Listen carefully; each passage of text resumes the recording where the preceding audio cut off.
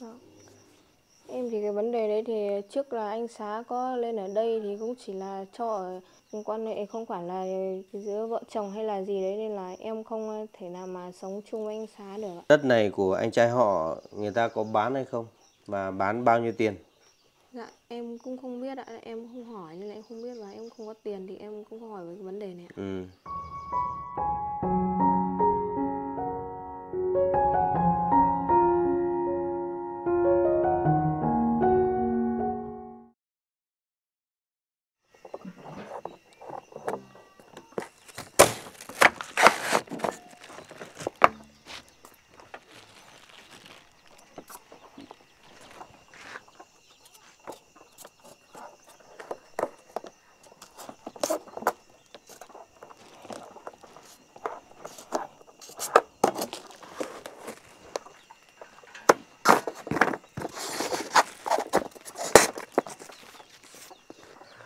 Xin kính chào quý vị khán giả cùng toàn thể quý cô bác anh chị. Chào mừng quý vị tiếp tục quay trở lại với kênh Hoa Cùng Núi. Hôm nay thì đang có mặt tại nhà em thím các bác ạ. Đây là món quà mà cô Thông gửi cho em thím. Tuy nhiên thì do đường xá xa xôi, không biết là về đến đây còn nguyên vẹn được hay không thì cũng chưa rõ các bác ạ. Sợ rơi thôi. Đường rất là khó đi nên là cũng không hứa trước được là nó sẽ đảm bảo được ừ, cái nguyên vẹn. Cái này là một phần của em xá các bác nhé.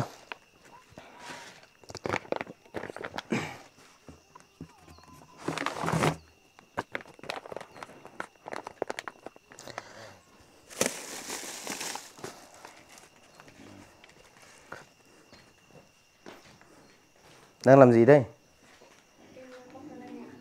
Bóc cây lanh à? À. à. Có mấy món quà của bà Thông ở bên Mỹ. Bà gửi cho một cô ở Nha Trang. Mua hải sản gửi lên cho bốn mẹ con. Trong đó thì có cả phần em xá nữa nhưng mà anh để riêng ở ngoài rồi. Đây. Cái này có tủ lạnh thì mới để được. Còn không tủ lạnh thì phải ăn gấp đấy rất là khó. Các bác ạ khi mà các bác gửi thì cũng rất là cảm ơn thôi. Nhưng mà để mà bảo quản được lâu dài thì thực sự ở trên này với cái thời tiết như thế này thì rất khó để có thể bảo quản. Cái này thì có có cũng có dấu hiệu bắt đầu chảy nước rồi. Không biết là anh thì cũng chưa ăn những cái đồ hải sản đặc sản như thế này. Nên là cũng không rõ là cái cách bảo quản nó như thế nào. Vâng. thậm chí là bản thân anh còn chưa nhìn thấy những cái món này bao giờ. Vâng. nên là dạ. đang làm cái lanh à? Vâng. bóc lanh à? Vâng. ngồi đi. Em ngồi đi. Ừ, đây các bác ạ. Rất là nhiều quà của em thím. Hiện tại thì à, Tuyên cũng chia từ cái thùng quà của cô Thông mà nhờ chị ở Nha Trang mua ấy. Cứ chia đều cho các em thôi. Đây là phần của em thím. Còn phần của em xá thì Tuyên để ở ngoài rồi đây thì anh cũng chưa toàn là những cái đặc sản như thế này thì chưa ăn bao giờ. Đây là nước mắm này. Cái này là nước tương thì phải. Vâng. nước tương. Như rơi mất một chai rồi. Anh cầm hai chai mà hay một chai nhỉ? Anh nhớ rồi. Cái này cái rổ rổ và cái chậu nhá. Cái này thì anh cũng chưa dùng bao giờ. Toàn những hàng xịn như thế này thì đây đa số là toàn là hàng mới nhá. Vâng. cái này là để rửa rau rửa rau ở trên này xong là mình có cái chậu này đỡ ở dưới thì nó đỡ. Vâng. đây, mỗi người hai cái. À, mỗi người hai dây sữa. Đây. Để cẩn thận cần hai dây sữa. Chết rồi rơi mất gói mì chính rồi. Cái này hạt nêm. Vâng. rơi mất gói mì chính rồi. Hết rồi. Rơi mất gói mì chính rồi các bác cái này thì cái hải sản này thì không biết là bảo quản như thế nào để cho nó hợp lý thực ra anh thì cũng chưa ăn cái này bao giờ Thế là hôm qua anh vừa nhận được món quà của cô gửi ở Nha Trang ra thì anh đem lên ngay. Vì rất là sợ hỏng cái đồ hải sản này. Đó. Đây. Cái này chắc ngon lắm đấy. Anh chưa ăn bao giờ. Nhìn thấy ăn cái này bao giờ chưa? Chưa. Mình ở trên núi thì đa số là không có hải sản ngon thế này. Đó. Dạ. Em à, để treo lên không tí chó nữa lại.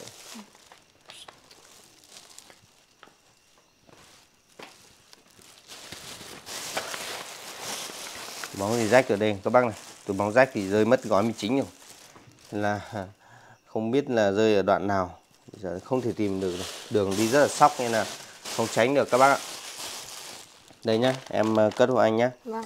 Và nhận hộ anh nhá đây là món quà của bà thông nhá vâng. cô thông ấy đợt trước mà cô hỗ trợ cho cái bộ giường còn nhớ không dạ nhớ ạ ừ đây này đây này nước mắm này vâng. hình như hai chai nước mắm cái này hai bốn chai cái này của em xá hai chai này quên ấy, tí lại để nhầm ra nhé vâng. của em xá hai chai này tí lại em xá lại không có các bác ạ không lại nhầm đây hai một chai dầu và hai chai nước mắm vâng. một chai uh, nước tương xì dầu. À, nước tương đậu nành. Đang làm gì đây? Xem nào làm kiểu gì đây? Cái này bây giờ lại bóc ra một lần nữa à? vâng ạ. À xem nào. Anh thì anh cũng chưa làm cái này bao giờ đây cái này ví dụ mình bóc thì bóc kiểu gì? Bóc này anh ạ. À. chiếu là mình lấy cái vỏ thôi đúng không? Vâng. Cũng khó ra phết đây nhỉ? À, bóc từng cái một đấy. À. này, bóc như này là nó bị đến đoạn này nó bị xé mất rồi à.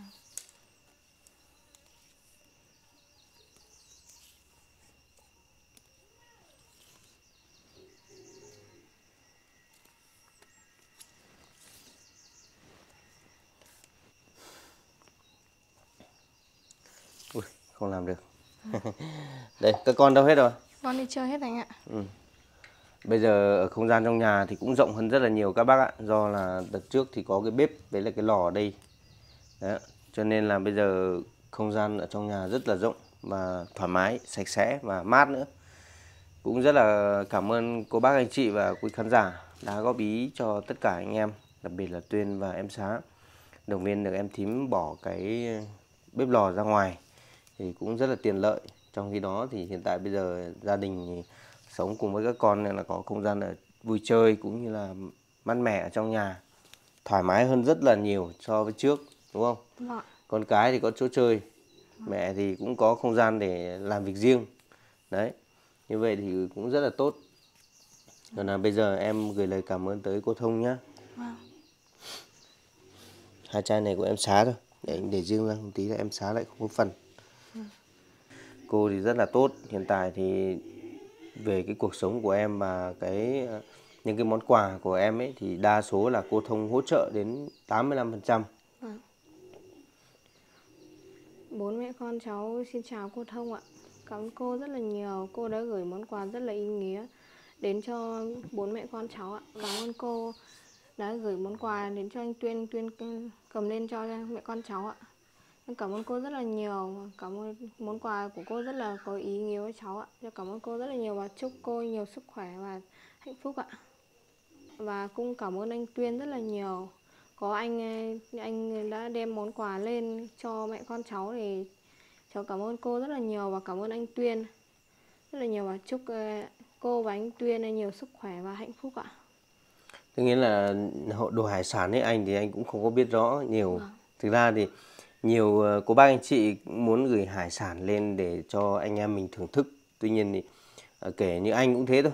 Anh thì có thể là ở, khu vực dưới ờ, thị trấn ở dưới phố thì cũng có nhiều các cái dụng cụ hay là các cái công nghệ để có thể tiếp cận được chế biến theo cái món ở vùng sâu vùng xa thì rất khó bây giờ không biết chế biến kiểu gì theo anh thì mấy cái miếng mà cá Ờ, cá nem vừa đấy thì khả năng là em sẽ chiên lên, xong là cho các con ăn ăn thế thôi.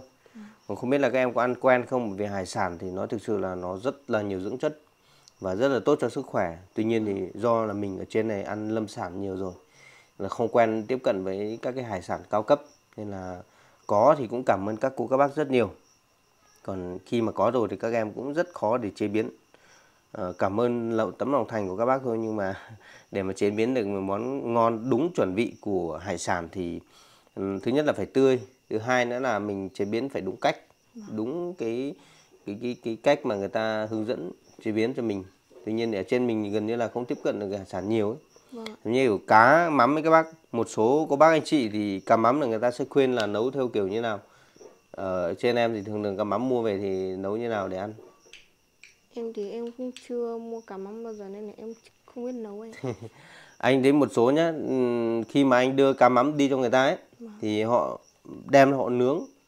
Nướng như kiểu nướng thịt trâu thịt bò khô như ở trên mình ấy. Vâng. nướng thì như thế ăn họ bảo là cái cá mắm này cũng là cá khô. Nên là cứ nướng như kiểu thịt trâu thịt bò treo các bếp ấy. Vâng. đấy họ làm như kiểu thế. Còn một số thì lại đem ra nấu thành canh sau đó là chan cơm ăn Đấy, cô bác anh chị nói như vậy là không phải để hướng dẫn em thím làm mà nói như vậy để các bác dẫn chứng cụ thể khi mà à, có những cái món à, hải sản đặc sản ở chỗ các bác gửi đến thì anh em sẽ phải chế biến như thế nào thì các bác có một cái nội dung hướng dẫn thì sẽ rất là tốt. Bản thân tuyên thì cũng rất là khó để tiếp cận với những cái món ờ, đồ xa xỉ như các bác gửi. Đó là xa xỉ đối với vùng sâu vùng xa như anh em thôi. Còn như các bác ở dưới vùng xuôi thì ở gần biển ấy thì rất là nhiều đồ hải sản và đặc biệt là có bác anh chị ở các cái thành phố lớn thì tiếp cận rất nhiều với các cái công nghệ um, bảo quản hải sản thì cũng có rất nhiều. Nên là các bác cũng biết chế biến ăn như thế nào cho hợp lý. Còn ở trên vùng sâu vùng xa rất khó. À, về vấn đề của em thím thì trước cũng có một cô bác à, một số cô bác anh chị là cũng à, nói về em. Tức là hiện tại bây giờ ở đây thì ờ, rất là lùm xùm rồi là rất là hoang rất là vắng rất là đáng sợ. Thì có một số cô bác anh chị là muốn khuyên em à, đi ở cùng với em xá. Hiện tại em xá thì có một căn nhà rất là to và rộng. Thì em suy nghĩ như thế nào về vấn đề này? Ở gần nhau để hỗ trợ lẫn nhau thôi ạ chứ không ừ. có cái kiểu là mà anh xá với em không có kiểu là sống chung với căn nhà nên là em không cho anh xá sang ở trong ờ, vào nhà ở mới cho anh ở bên cạnh nhà bếp ạ ừ. nên là em Tuy nhiên là bây giờ xá... em vấn đề là như này một số cô bác anh chị góp ý là uh, hiện tại cuộc sống của em cũng khó khăn thì ừ. chỗ em xá bây giờ làm được nhà ở mới rồi nhà em xá rất là to và rộng thì muốn em đi ở cùng em xá và tại sao lý do thế nào mà em lại không đi ở cùng em xá thì em có thể đưa ra những cái lý do cụ thể liên quan đến cuộc sống của em và em xá để cho các bác hiểu rõ hơn. Vâng. Em lý em thì anh xá là anh chồng của em thì em cũng coi như em rất tôn trọng anh và em cũng rất là quý anh. Thì ừ. em cũng không à, đấy đấy là quan hệ giữa người gia đình người thân chứ không phải là quan hệ không phải là giữa vợ chồng hay là gì đấy nên là em không thể nào mà sống chung với anh xá được ạ. Ừ.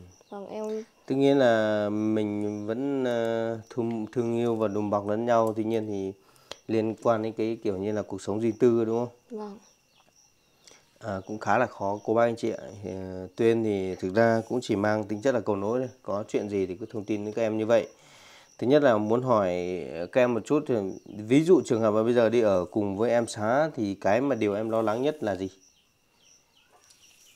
Em thì cái này em cũng ờ, sợ hàng xóm người ta người ta nói cái này rồi cái kia xong là người ta nói rất là nhiều về kiểu như là sợ người ta nghĩ là mình lại lại thấy anh xá có điều kiện có, điều có kiện nhà xong xây lại... xong là bắt đầu lại lại à, chồng thì lại không về lại muốn đi ở cùng với em xá này kia đúng không? Vâng. Đó là là mình cũng không mình cũng muốn giữ cái thể diện cho bản thân mình thôi. Thực ra thì bản thân em là con gái.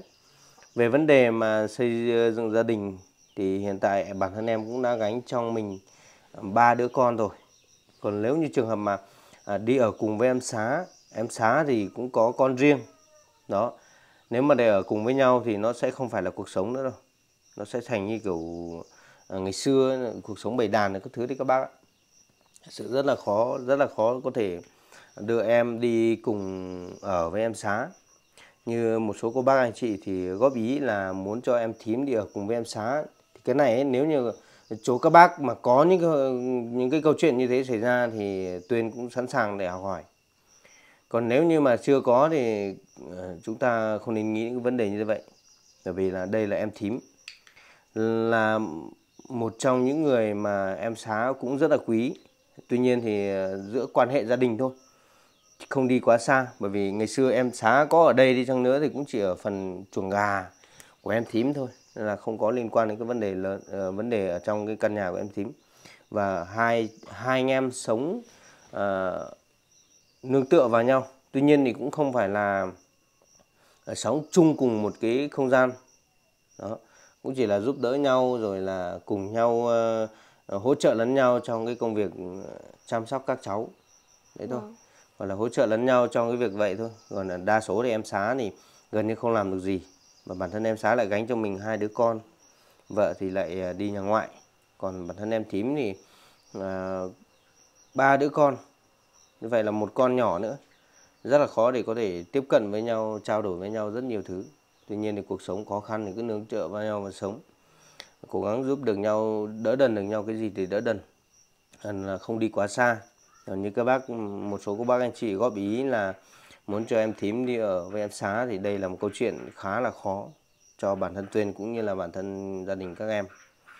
Nếu như đi ở cùng với em xá thì thứ nhất là cái vấn đề dị nghị xã hội ở làng xóm người ta suy nghĩ là em thím khi mà biết em xá có nhà xây, nhà to, đẹp rồi, lại bắt đầu lại lại từ đó lại sinh ra mâu thuẫn là em thím bắt đầu đi ờ, dựa dẫm em xá để để để lợi dụng cơ hội mà ở với căn nhà em xá đang ở bây giờ cho nên là rất là khó các bác cuộc sống riêng của các em thì hãy để các em lựa chọn còn như cô Thanh cũng đã hứa rồi, hiện tại cô Thanh cũng có một số các yêu cầu liên quan đến vấn đề đất đai cũng nhà cửa của em ừ. thì bây giờ anh sẽ thông tin đến cho em về cái vấn đề đó theo như cô Thanh chia sẻ thì cô hỏi anh như thế này là muốn em trả lời rõ cho anh về những cái vấn đề như sau. Vâng. Thứ nhất là cô hỏi theo như video cái nhà của em thím đang ở thì là của anh trai họ. Vâng. Đúng không? Hiện vâng. tại cái nhà này là của anh trai họ của em đúng không? Vâng. Tức nghĩa là căn nhà, khung nhà thì là em dựng.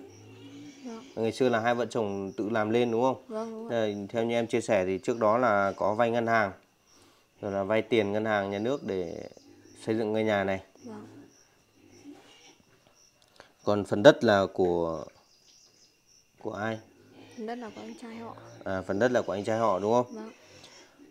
rồi à, câu hỏi tiếp là phần đất của hai vợ chồng từ căn nhà bếp xá trước kia cho tới cái chỗ mà em để cái chuồng gà. Vâng. thì bà đang nhầm ở cái chỗ đấy là cái chỗ cầu xí nhưng không phải bên đấy là cái chuồng gà không? Đến chỗ hết chỗ chuồng gà kia sang bên kia có phải đất của em nữa hay không?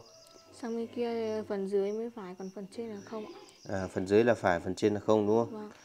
và bà có nói là nếu như trường hợp diện tích à đang hỏi cái diện tích đất là bao nhiêu thì hôm nọ anh em mình cũng đã chia sẻ rồi vâng. thì cái thước phim trước anh em mình đã chia sẻ thì có lẽ là cô cũng đã xem được ở trong cái phần đất mà chỗ hai vợ chồng em sở hữu thì có giấy tờ gì không? Dạ. Không ạ. Không có giấy tờ gì. Vâng. À, ngoài cái giấy ý như là sổ đỏ này thì có sổ đỏ hay không? Có ạ. À, có thì nó là giấy tờ đấy. Vâng. Ừ.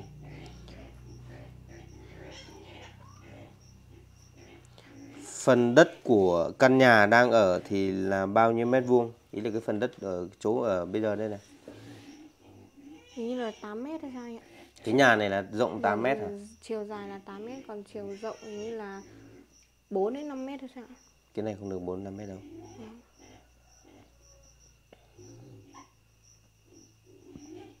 Cái chiều dài là khoảng 8 mét và chiều rộng nó rơi vào khoảng 3 mét. Ừ. Hơn 3 mét chút rồi, đi. Lâu rồi nên em cũng không nhớ ừ.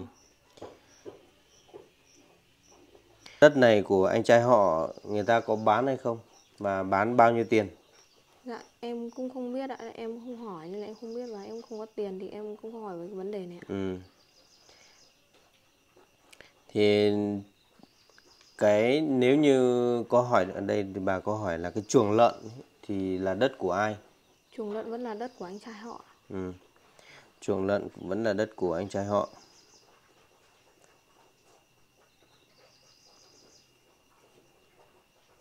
À, cái này thì ờ, cô hỏi hết rồi vâng. tức nghĩa là bây giờ cái dữ liệu cụ thể mà cô muốn biết ấy thì hiện tại bây giờ là uh, cô đang muốn biết là cái nền nhà của em và vâng. cái cơ sở căn nhà thì cô muốn uh, giúp đỡ tuy nhiên thì uh, phần nữa là cô hỏi thêm này cô hỏi thêm một điều nữa là em thím có được hưởng trợ cấp là hộ nghèo hay không để sau này em còn có thể thêm tiền cho sinh hoạt và nuôi các con khi sở hữu căn nhà. Chứ không phải là chồng em. Tôi ờ, xin lỗi à đây, cái này thì bà có hỏi như thế này tức là hiện tại em có thuộc diện hộ nghèo hay không? Dạ hiện tại là có ạ. Ừ. nghĩa là cô muốn hỏi rõ là cái vấn đề hộ, hộ nghèo ấy dạ. thì có được hỗ trợ cái gì hay không và được trợ cấp cái gì hay không liên quan đến cái à, cuộc sống của bốn mẹ con em? Dạ không ạ. Chỉ được cái hộ nghèo thôi và các con đi học thì ví như là nộp tiền là cái gì quý lớp gì đấy thì các con được miễn phí thôi ạ. À Dạ. anh hiểu rồi. À, như này cô Thanh ạ thực ra thì bản thân Tuyên thì cũng không nắm rõ được cái vấn đề về dân số và vấn đề về hưởng chính sách à, xã hội liên quan đến các cái hộ nghèo. Tuy nhiên thì theo theo cái cơ sở cơ bản mà Tuyên tìm hiểu ở trên các cái ờ, thôn bản thì khi mà mình thuộc diện hộ nghèo thì thứ nhất được hưởng đó là hưởng những cái Ờ, ờ, tham gia hoạt động các cái hoạt động liên quan đến uh, xã hội. Ví dụ như là các hoạt động chung như các con đi học thì sẽ được miễn giảm học phí 100% là một thứ hai nữa là liên quan đến các cái đồ dùng học tập của các con như là sách vở uh, đồ dùng học tập uh, rồi là uh, kiểu như là ăn trưa nếu như trường hợp mà các con có ờ, được ăn trưa thì sẽ được hỗ trợ thêm một khoản kinh phí nữa. Tuy nhiên thì cái vấn đề ăn trưa này cũng rất là nhỏ thôi. Ở trong xóm thì ăn trưa thì các cái địa trường thì hình như là cũng chỉ hỗ trợ đâu đấy là mấy nghìn một bữa thôi cũng không nhiều. Cho nên để trông chờ vào những cái trợ cấp xã hội của nhà nước thì rất khó để có thể chờ được được. Bởi vì là khi mà mình thuộc diện hộ nghèo thì ờ, ở đây thì gần như là 80% là hộ nghèo Dạ, không chỉ riêng mình mà nếu như nhà nước mà hỗ trợ hết thì nó sẽ quá tải cho cái bộ máy chính quyền của xã. Do vậy thì mong cô thông cảm liên quan đến cái vấn đề chính quyền thì tuyên cũng không rõ nên là cũng không có nói nhiều. Còn về đất, phần đất của em thím ờ, liên quan đến cái vấn đề chuyển vật liệu từ trên đường xuống thì chắc có lẽ là đơn giản thôi. Mình sẽ đổ ở trên đường mà sẽ để nó dốc xuống dưới này và chuyển xuống ờ, hót xuống dưới này luôn, nó rất là dễ. Tuy nhiên thì khi nào mà tiến hành khi nào mà có tiền thì mình sẽ tiến hành ờ, khảo sát rồi là ờ, tiến hành tìm hiểu các cái à, khu vực để có thể đổ được vật liệu Vâng. vật liệu thì chắc đổ trên đường luôn thôi nếu như trường hợp mà có sự trợ duyên của cô Thanh hỗ trợ thì mình sẽ tiến hành mình khảo sát Vâng. hôm nay thì anh đến để trao phần quà cũng như là thông tin đến cho em về cái vấn đề liên quan đến cuộc sống của em và à, phần quà này là phần quà của cô Thông ở bên Mỹ. Vâng. cô hỗ trợ cho em thông qua một chị nữa ở bên Nha Trang. Đây là người nhà của cô thì ờ, chị gửi qua được hai ba hôm rồi. Tuy nhiên là hôm qua anh mới nhận được. Nhận được cái là anh tức tốc mang lên cho các em luôn bởi vì là liên quan đến cái vấn đề hải sản cái đồ ăn sẵn này thì đồ tươi này thì rất là rất là nguy hiểm. Để lâu thì sợ hỏng mất. Vâng. Cảm ơn cô Thông rất nhiều đã thông qua Tuyên uh, trao những món quà rất là ý nghĩa gửi đến cho các em để, giúp các em phần nào đó được ừ, cải thiện những cái bữa ăn cũng như là cuộc sống của các em được tốt hơn. Cảm ơn cô rất nhiều và chúc cô luôn bình an, mạnh khỏe, hạnh phúc. Cảm ơn tất cả quý khán giả đã luôn luôn quan tâm theo dõi và động viên em thím cùng với ba đứa con. Để có cuộc sống tốt hơn hơn thì hy vọng là cô các cô các bác các chú cũng sẽ tiếp tục uh, ủng hộ cũng như là giúp đỡ em thím để em có nhiều động lực và ờ, tinh thần phấn chấn hơn. Thôi bây giờ em làm việc đi nhá. Vâng. Anh đi xuống nhà em ờ, em xá đây. Em có xuống đấy không? Dạ, Tí nữa em xuống ạ. Tí nữa xuống à? Hôm nay thì không có làm gì đâu. Nhà em xá thì xong rồi đúng không? Qua vận chuyển vật liệu vào hết chưa? Hôm qua hết rồi anh ạ. Được rồi. À, có lẽ là thước phim này của Tuyên cũng xin được khép lại tại đây. Một lần nữa thì cảm ơn cô Thông rất nhiều đã chia sẻ tình yêu thương gửi đến cho các em ở trên vùng cao à, Ờ, biên cương của Tổ quốc. Xin chào, tạm biệt và hẹn gặp lại quý khán giả những thước phim tiếp theo.